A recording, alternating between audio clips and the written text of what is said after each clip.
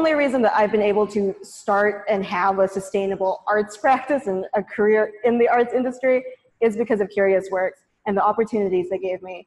So what I really want to do in my work is to make sure that other people are able to have those same opportunities, especially young people, especially young people of color, especially young people from Western Sydney.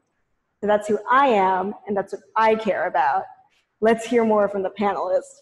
Uh, yeah, as you heard, my name's Sean Spinner. I'm a filmmaker from Western Sydney. My passion is into learning and listening to the stories of people around me and discovering new things about you know, everyone and everything. I am uh, Huyen Yuen and I'm a graphic designer. My passion is in design with purpose, um, telling stories, delivering messages that, you know, impact the society, the, the better. My name is Savani and I am a filmmaker as well, mostly behind the camera. With my work, I want to renew people's perspectives um, through the lens. My passion is in documentary and um, I'm at the Fun Park documentary. So uh, please watch it on December 5th. Please do take that advice. Watch Fun People's Fun Park.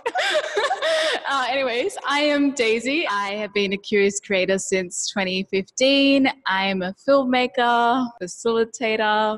What I really care about is giving a voice to young people of Western Sydney and making sure that we are giving them opportunities to feel empowered and through paid work, I guess. So, yeah. So I got my first job um, in publishing, and then I got my first job in the arts at CuriousWorks a year after.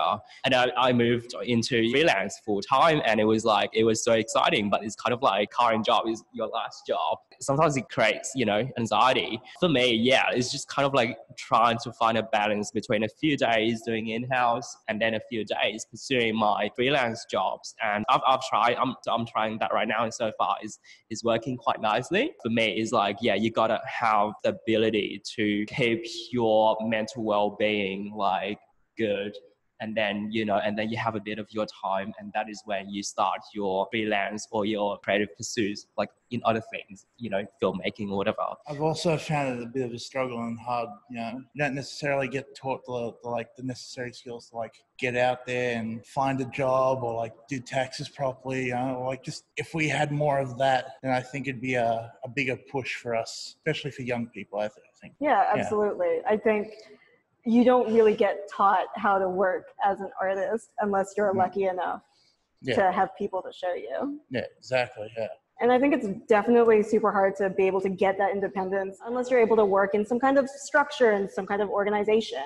And so we've heard a lot this year from arts organizations in particular who are looking for diverse leadership to be the new young diverse leaders of our company. Why is that? What is it that really is stopping young people from taking these leadership positions? An internship to me just seems like such a white privilege thing. Like specifically when I think about opportunities that are out there for young people in leadership roles, they're often advertised as like an internship or sometimes ridiculous hours like three days or for a full five days of work where they need to do non paid and advertised as something that is a great opportunity for them, which it is.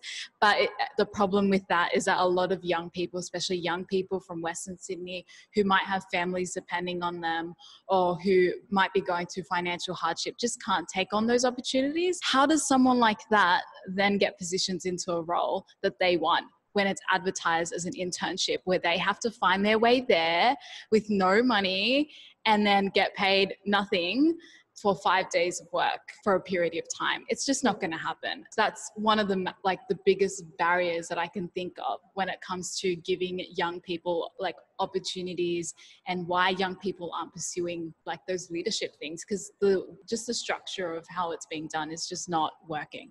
What i think that helped me was to connect with my own peers that I relate to and um, and share my passions with. I am passionate about documentary and and I want to give back to the community. Surround yourself with people who think like you and you know and you trust them and that will really take you far. Like you've been in a like a really bad place. Talk to someone, please. like do not like you know do not immerse yourself with these negative thoughts. Just go out there, please. Another thing I want to say is there's this need to prove um, your job is a job, especially when you're coming from a migrant background. So please be creative.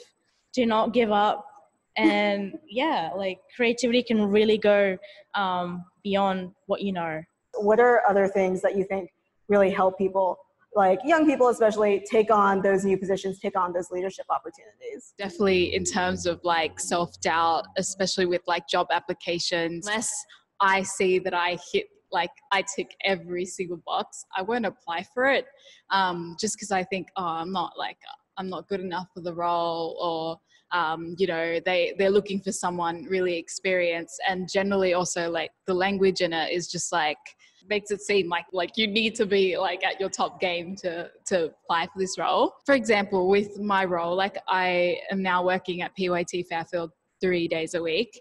Um, i wouldn't have applied for this role unless Caitlin like said, "Hey, I think you'd be great for this role." I did apply, and then I didn't get it the first time. Then the role came available again, and I went to um, apply again, and Kaz actually spoke to me, and she was like, "She's the artistic director at PYT," and she was like, "Hey, Daisy."